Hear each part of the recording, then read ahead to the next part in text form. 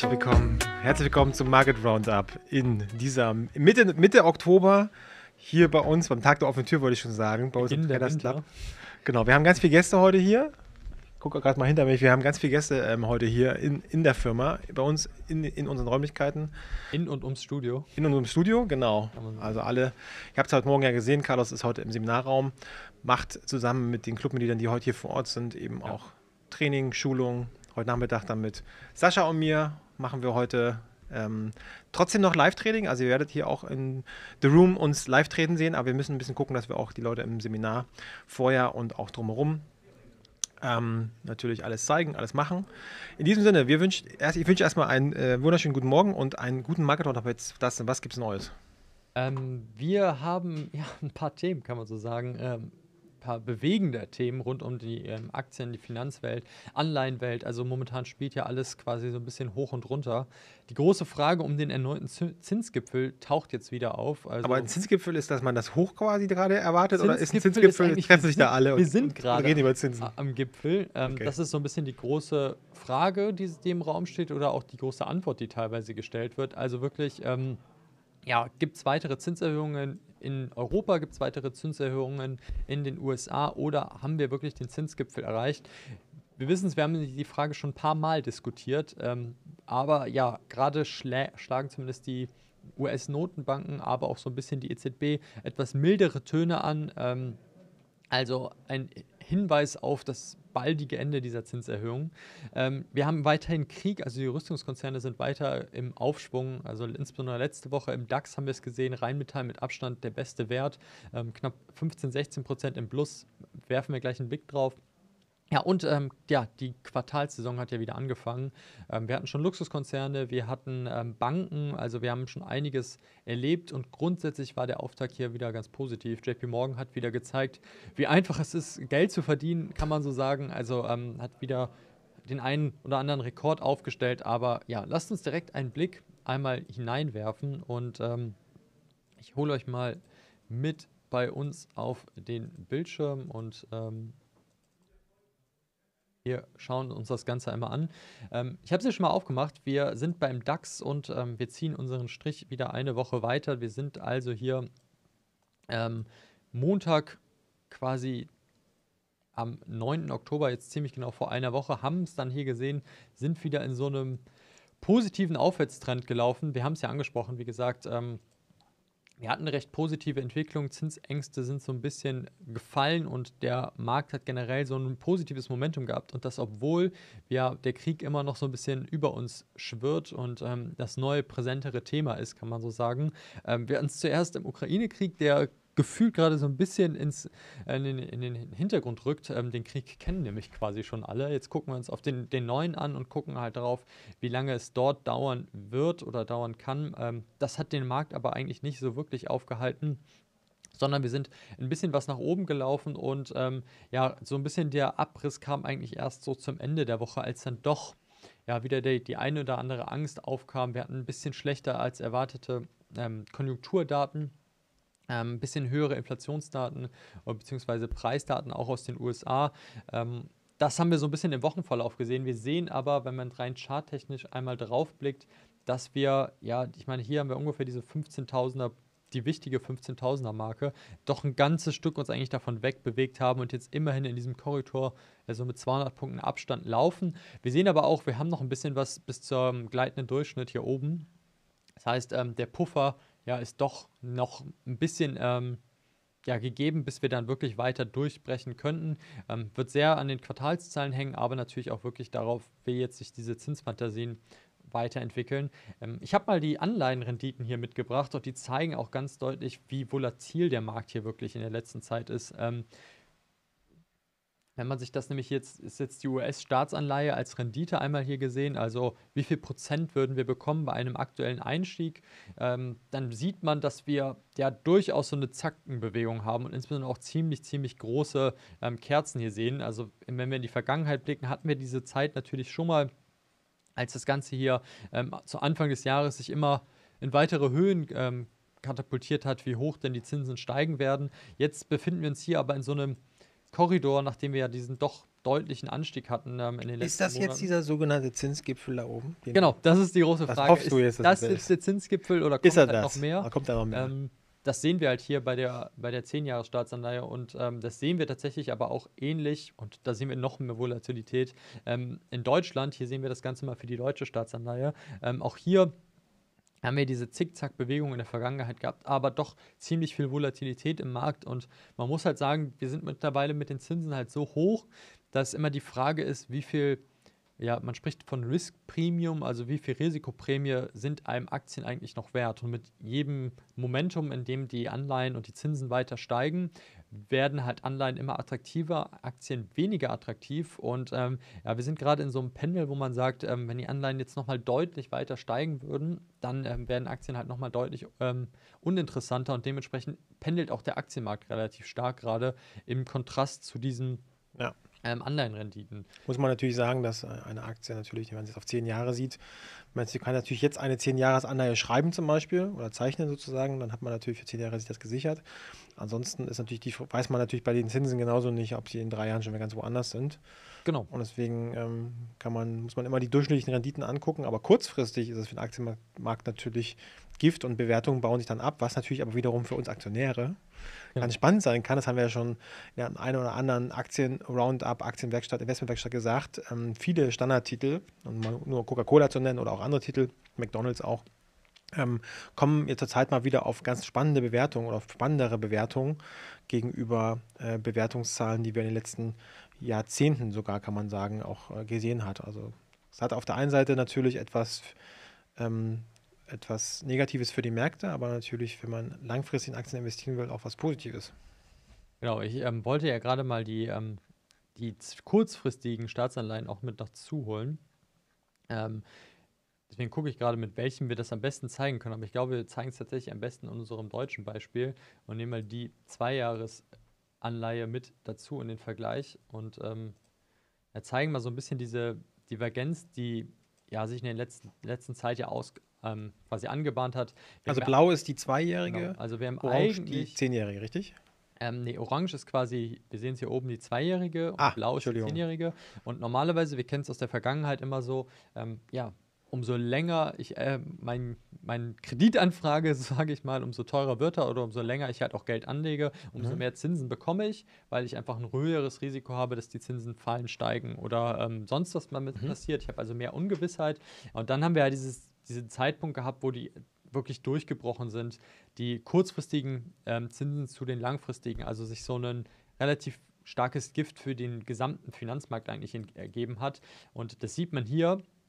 Das heißt, ähm, wir haben immer so ein Momentum, wo wir kürzer günstigere Zinsen, äh, teurere Zinsen bekommen.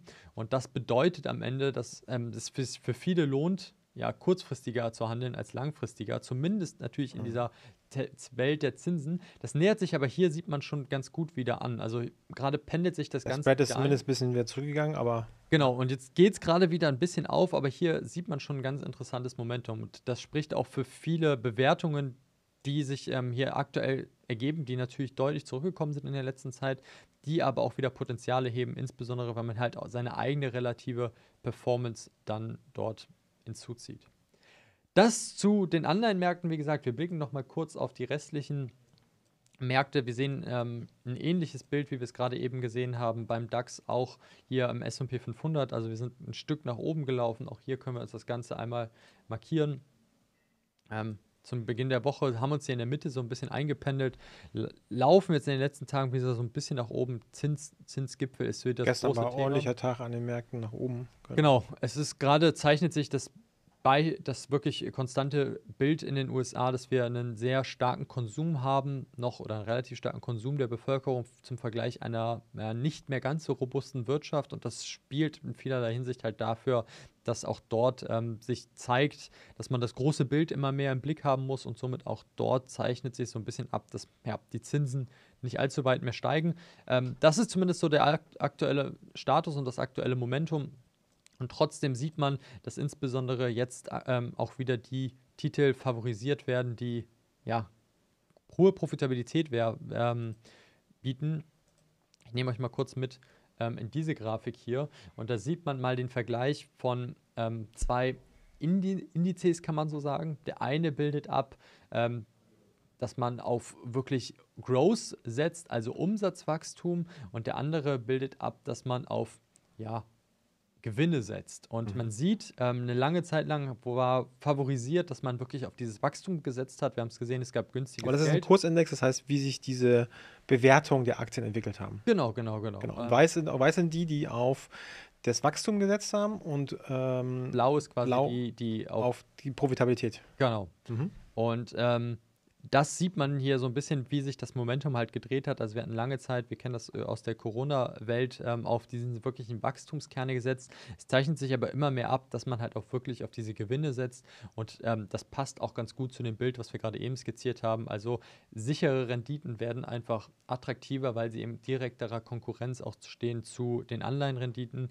ähm, und dementsprechend auch favorisiert werden. was man hier schön erkennen kann, ist, dass wir aktuell uns wahrscheinlich genau deshalb noch relativ stabil halten, weil wir hier eine Rotation zwischen diesen beiden sehen.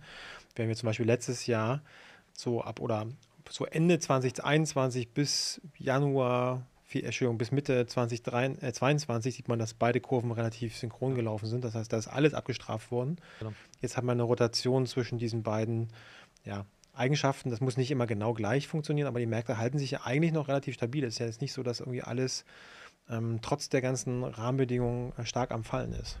Also ja. ja. es ist gefallen, aber es ist zum Beispiel nicht so stark gefallen wie letztes Jahr. Wir hatten letztes Jahr andere Jahrestiefs ähm, und andere Indexstände auch gehabt. Genau. Wir halten uns verhältnismäßig, muss man sagen, gerade noch ähm, ziemlich stabil an den Aktienmärkten. Ähm, und ja, das, das, skizziert ja auch dieses Bild, zumindest dieses Momentum davon.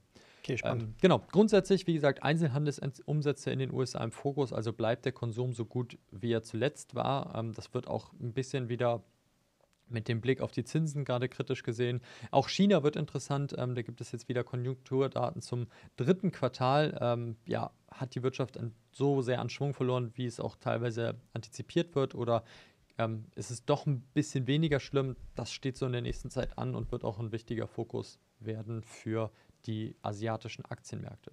Mhm. Aber wie gesagt, Earnings sind schon wieder voll im Gange. Das heißt, Quartalszahlen sind schon wieder voll im Gange. Und da hast du schon gespoilert, dass die Banken gut weggekommen sind. Ist jetzt, aber es ist auch gar nicht, das gar nicht so überraschend, oder?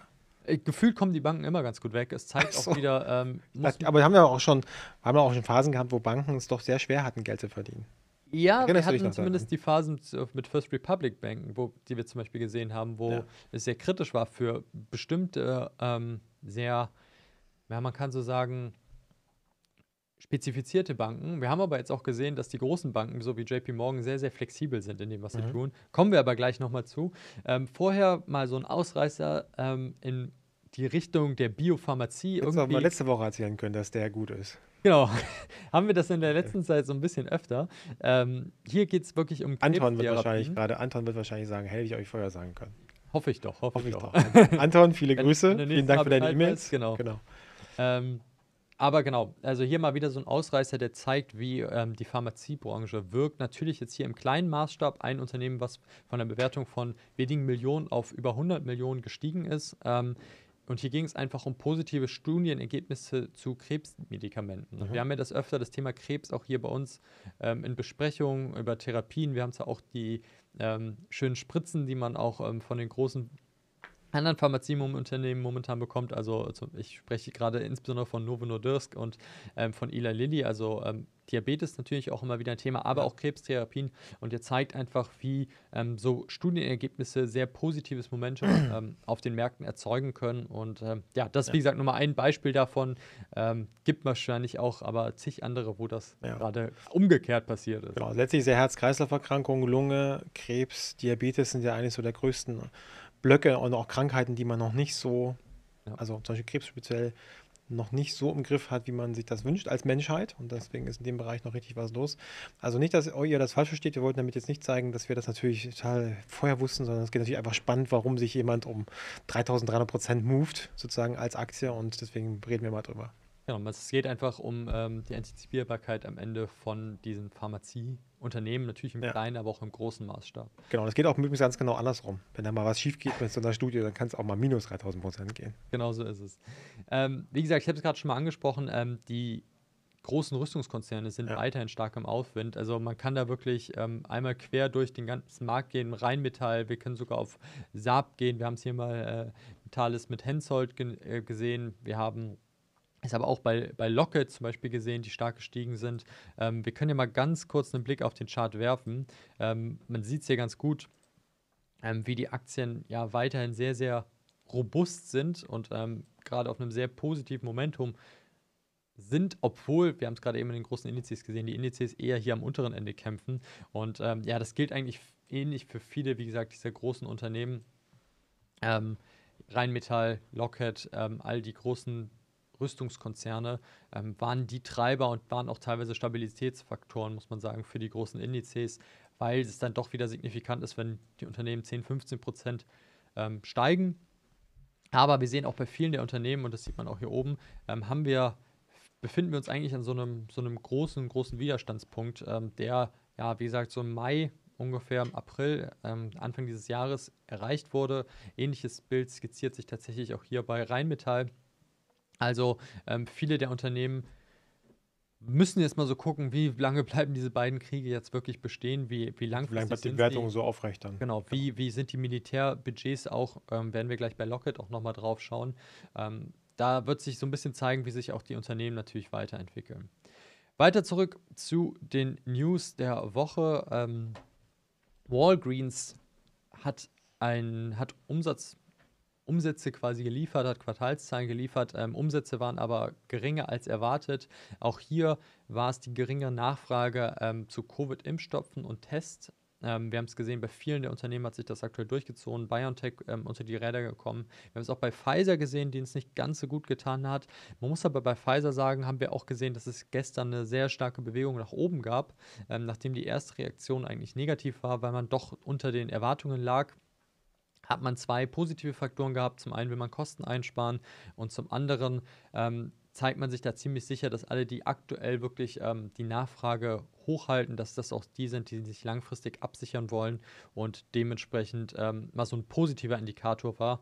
Aber auch hier bei Walgreens haben wir gesehen, ähm, es war schlechter, als man eigentlich machen, äh, erzielen, äh, sie erzielen wollte, aber dann doch irgendwie wieder Und besser. die Markterwartung war offensichtlich, okay, das kann Genau. noch schlimmer ausgehen. Ähm, merke ich aktuell irgendwie bei vielen Unternehmen, dass so ein bisschen die, die schlechten News sind schon im Markt. Und also ich habe jetzt wenig, also wenig viele, gesehen. viele dieser Schätzungen, die wir in der Vergangenheit gesehen haben, Ja. sind jetzt an vielen Stellen auch so ähm, erwartet worden und deswegen pendelt sich das auch an diesen Stellen viel ein. Das heißt, wir hatten aber trotzdem ähm, ja eine positive Bewegung hier bei Walgreens. Ähm, Palantir hat auch mal wieder vom Krieg profitiert, diesmal nicht direkt, indem wir die Rüstung quasi direkt herstellen und liefern, aber die ganze ähm, alles ums Thema Datenanalyse haben wir schon mal ein bisschen was genauer hier besprochen. Wenn ihr euch zu Palantir nochmal etwas genaueres anhören wollt, ähm, ich glaube, vor ungefähr vier bis fünf Wochen haben wir Palantir mal hier genauer unter die Lupe genommen.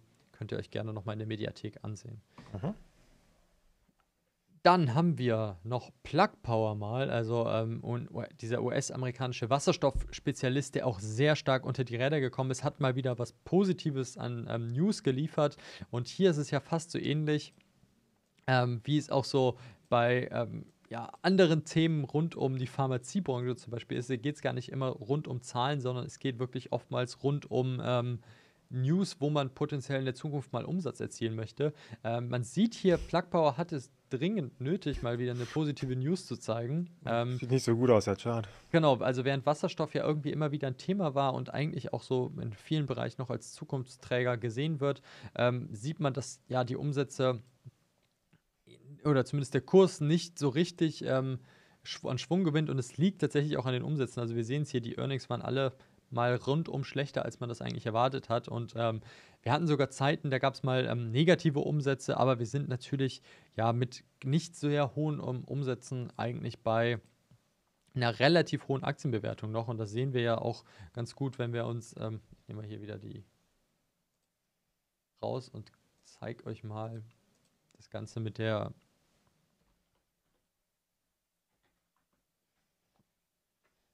mit dem Kursumsatzverhältnis. Ähm, da sehen wir nämlich, wir sind von sehr, sehr hohen Erwartungen deutlich runtergekommen, weil einfach dieses Umsatzwachstum fehlt. Und da ist jetzt einfach jede Nachricht, die zeigt, hey, wir wollen doch potenziell mehr Umsatz ähm, erzielen, ähm, ja, sehr, sehr positiv zu deuten für die Unternehmen. Und deswegen gibt es dann diesen kleinen, ähm, Drops mal nach oben, aber immerhin 10%. Also ähm, vielleicht doch mal ein weiterer Weg auch für Plug Power. Ähm, wie gesagt, JP Morgan habe ich schon angesprochen. Wir haben besser als erwartete Quartalszahlen gehabt. Ähm, Umsatz ist weiterhin gestiegen um 21 Prozent, mittlerweile 41 Milliarden US-Dollar pro Quartal, also ähm, eine ganze, ganze Menge. Und wir haben sehr schön gesehen, wie sich das bei JP Morgan verschoben hat von, wir machen viel ähm, Gewinn und auch Umsatz mit dem MA-Geschäft in den letzten Jahren, also viel Börsengänge, Beratung rund um Börsengänge, Übernahmen und und und. Also in der Zeit, in der die Zinsen niedrig waren, gab es einfach viel Kapital, das genutzt wurde. Da hat man sehr viel Geld gewonnen äh, oder Geld verdient. Jetzt dreht sich das Ganze wieder. Ähm, wir haben deutlich weniger Umsätze im Unternehmens- und Investmentbanking-Bereich. 12 Prozent ist es dort gesunken. Dafür ist das Zinsgeschäft jetzt das, was anzieht im Privatkundensektor. Ähm, das heißt, das Zinsergebnis war um 30 Prozent besser. Ähm, 23 Milliarden hat man nur mit Zinsen verdient.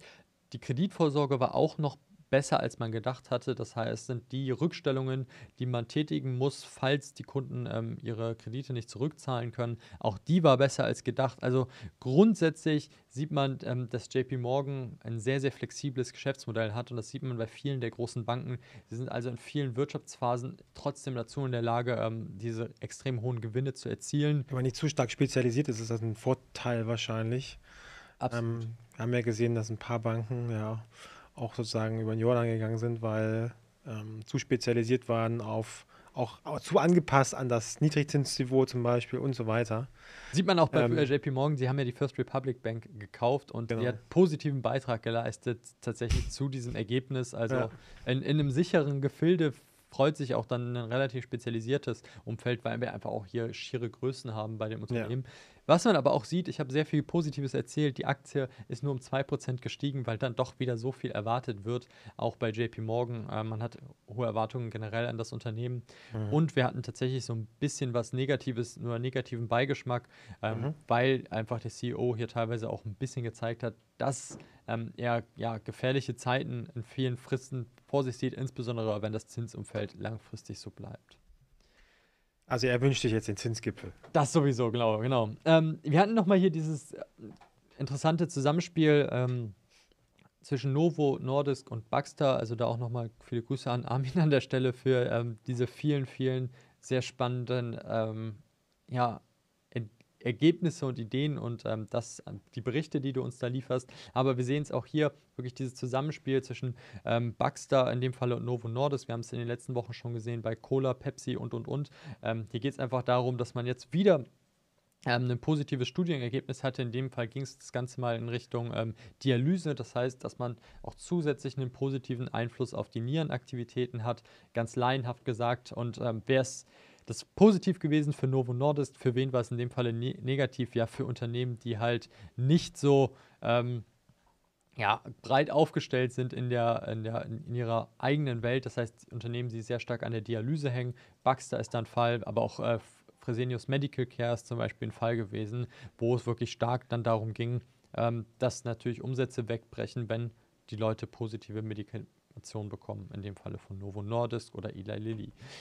Wir gehen auch nochmal weiter zum letzten Schritt zu LVM Asch und ähm, Christian Dior. Ähm, auch hier nochmal mit einem Blick auf den Chart, weil der doch irgendwie wieder ganz spannend ist. Ähm, gut, das passt auch ein bisschen zu dem, was Christoph gerade eben mal angesprochen hat, denn wir sehen, ähm, dieses Geschäftsmodell war sehr lange sehr, sehr robust von den großen Luxuskonzernen. Also wir sehen es hier, wir sind noch im April bis Juli ähm, auf, zu neuen Höchstkursen gekommen. Jetzt zeigt sich aber auch ein bisschen, dass aktuell die Krise dann doch so lange anhält, dass auch die etwas Vermögenderen sich überlegen, wie viel äh, ja, oder wie viel Geld möchten wir noch ausgeben. Das heißt, die Umsätze sind hier weiter gestiegen, aber man sieht doch, dass ähm, ja, es deutlich zurückgekommen ist. Man sieht aber, und das finde ich hier ganz spannend, dass wir auch so durch so einen langfristigen Trend hier so langsam durchgebrochen sind. Ähm, natürlich noch so ein bisschen kurzfristiger, aber wir sehen an der Stelle ganz gut, ähm, dass sich natürlich durch so einen Durchbruch des langfristigen Trends auch gegebenenfalls wieder Chancen ergeben. Man muss natürlich immer wieder hier drauf gucken. Ähm, ihr wisst ja, bei Aktien kann man immer wieder alles verlieren. Aber es zeigt sich dann doch wieder, dass sich ähm, man aus so einer sehr, sehr langfristigen positiven Phase gerade ausgebrochen ist. Und das ist schon ganz spannend für diese sehr großen, ähm, eigentlich sehr lange, sehr resilienten Geschäftsmodelle. Genau, Luxusunternehmen fehlen in meinem Portfolio zum Beispiel noch, in meinem privaten Aktienportfolio. Und das ist definitiv einer der Titel, die ich mir gerade auf die Watchlist lege, weil zur Differenzierung äh, und ähm, Diversifizierung im Portfolio brauche ich das noch. Hm. Und ähm, da werden sich jetzt Chancen ergeben. Also solche Bewertungen hatten wir lange nicht. Und die kann sich auch noch gerne noch ein bisschen weiter abbauen und äh, dann ergeben sich da definitiv Chancen. Man sieht ja langfristig gesehen, wir hatten dazu auch mal eine Investmentwerkstatt, sind diese Luxusunternehmen sehr stabil und ähm, haben immer gute Wachstums- ja. äh, sehr gut Wachstum generiert und ähm, packe ich mir jetzt definitiv auf die Watchlist, diese Titel. Also, die sind auch sehr große Unternehmen, sehr breit aufgestellt, sehr breit diversifiziert. Viele Marken auch darunter, genau. Genau, insbesondere die, die großen Konzerne wie LWM Asch. Also sehr, sehr spannend, glaube ich, da auch so ein genaues Auge drauf zu werfen. Wie gesagt, man ist auch weiter gewachsen. Ähm, es ist so ein bisschen die Problemmärkte USA und China, die da auch ja. ähm, dem Wachstum gerade nicht allzu gut tun. Deswegen, genau, ein, ein spannender Titel, auch spannend für Leute, die sich natürlich sehr stark mit Optionsgeschäften gerade auseinandergesetzen. Ähm, da kann man zumindest mal so einen Blick drauf werfen. Wir haben aber auch ähm, in dieser Woche noch ein paar weitere spannende Earnings. Es geht gerade erst so richtig los. Ähm, wir haben Johnson Johnson, wir haben äh, Bank of America, Prologis hatten wir auch mal so genauer hier so ein bisschen unter der Lupe. Auch ein sehr, sehr spannendes Unternehmen, insbesondere ähm, weil sie doch auch hier sehr lange sehr resilient waren in ihrem Geschäftsmodell.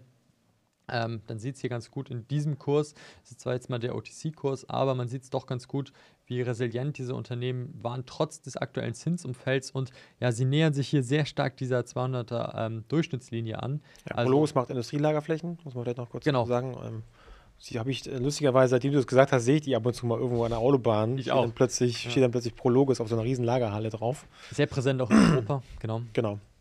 Ähm, genau, das zu Prologis, wie gesagt, Lockheed gucken wir uns auch in den nächsten Wochen mal an, insbesondere im, äh, im Aktien-Roundup nächste Woche. Mhm. Rüstungskonzerne wird mhm. ein großes Thema sein. Ähm, ja, wie gesagt, ASML immer wieder im Fokusthema, ähm, die Chipindustrie als Zulieferer sehr, sehr gefragt und auch immer ein sehr früher Indikator, in welche Richtung sich so ein bisschen die Chipindustrie entwickelt. Aber wir haben viele weitere große Namen. Wir haben Tesla, Procter Gamble, Netflix, ähm, TSMC, American Airlines, äh, Münchner Rück, ATT, also viele, viele große, namenhafte Namen. Ähm, wir haben auch Sika mal mitgenommen. Ähm, da geht es tatsächlich um einen führenden Anbieter in etwas nischigeren Bereichen, ähm, aber bauchemische Produktsysteme. Mhm. Und ähm, auch da muss man sagen, haben wir ein spannendes Geschäftsumfeld. Aber ich will nicht zu viel verraten. Das werden wir uns die Woche noch mal ein bisschen genauer. Ja, und Villeroy im Boch auch noch mal ein bisschen das Edelporzellan. Genau. Ist auch noch die Woche dran. Spannend. Und oh, wir haben noch einiges natürlich auch an Wirtschaftszahlen. Wie gesagt, ähm, es bleibt eine weitere spannende Woche. Wir haben Arbeitslosquoten in Großbritannien. Konjunkturerwartungen in Deutschland. Ähm, man sieht es, geht auch hier vielleicht ein bisschen eine positivere Richtung. Ähm, wir hoffen es zumindest, also von minus 12 auf minus 9. Aber Inflationsraten sind natürlich ein Thema, insbesondere für Großbritannien, die sehr langfristig ja auch davon betroffen waren. Ähm, wir haben ja Häuserverkauf in den USA. Die, der Markt ist ja sehr, sehr stark unter Druck gekommen, insbesondere im Privat- Segment oder Privatkundensegment und ja, Erzeugerpreise immer so als Frühindikator für ähm, hier die Inflationsraten auch wieder ganz, ganz spannend. Genau, Frank sagt noch, eine sehr spannende Luxusaktie ist auch Ferrari, außerdem sehr stabil. Das mag sein. Absolut. Wie gesagt, wir hatten ja auch schon mal Luxusjachten, wie gesagt, Luxusautomarken müssen wir uns definitiv hier auch mal ansehen. Kommt auch nochmal dazu. Genau, das ist es von uns diese Woche. Wie gesagt, ähm, wir haben morgen und übermorgen nochmal zwei spannende Webinare, wo wir uns insbesondere mit dem Thema Dividenden, Dividendenwachstum auseinandersetzen. Genau, morgen dann für alle einmal. Genau. Morgen Abend ähm, zum Thema Dividendenwachstum. Also alle, die Lust auf Dividendenwachstum haben. Alle, die morgen 18 Uhr, 18 Uhr geht's los, morgen genau. Abend wir beide zusammen. Ich muss ja mal fragen mal dich, was mein Terminkalender angeht. Genau, morgen Abend 18 Uhr und am äh, Donnerstag dann Aktien-Roundup.